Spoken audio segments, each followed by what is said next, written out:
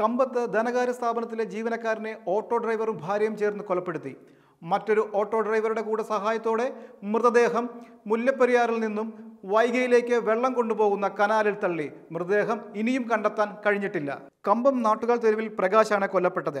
ഇതേ പ്രദേശത്തെ auto driver Vinod Kumar ഭാര്യ നിത്യ മൃതദേഹം നീക്കം ചെയ്യാൻ സഹായിച്ച വിനോദ് കുമാറിന്റെ സുഹൃത്ത് രമേശ് എന്നിവരാണ് അറസ്റ്റിലായത്. ഈ മാസം ഇരുപത്തൊന്ന് മുതൽ ഭർത്താവിനെ കാണാനില്ലെന്ന് പ്രകാശിന്റെ ഭാര്യ കനിമൊഴി പോലീസിൽ പരാതി നൽകിയിരുന്നു. പോലീസ് അന്വേഷണം നടക്കുന്നതിനിടെ പിടിക്കപ്പെടുമെന്ന് വ്യക്തമായതോടെ വിനോദ് കുമാറും നിത്യയും കീഴടങ്ങുകയായിരുന്നു. ഇവരുടെ മൊഴിയുടെ അടിസ്ഥാനത്തിലാണ് രമേശിനെ അറസ്റ്റ് ചെയ്തത്. പ്രകാശിന് വിനോദ് കുമാറിന്റെ ഭാര്യയുമായി അവിഹിത ബന്ധം ഉണ്ടായിരുന്നു.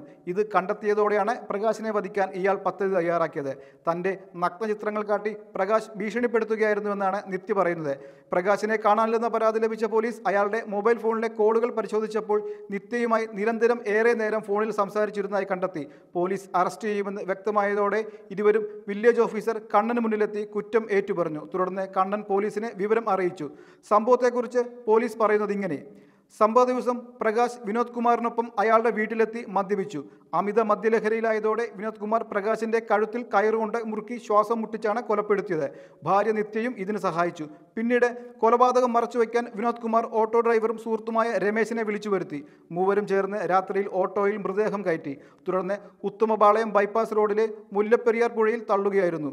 ഇവരുടെ മൊഴിയുടെ അടിസ്ഥാനത്തിൽ പോലീസ് പുഴയിൽ തിരച്ചിൽ നടത്തിയെങ്കിലും മൃതദേഹം ലഭിച്ചില്ല.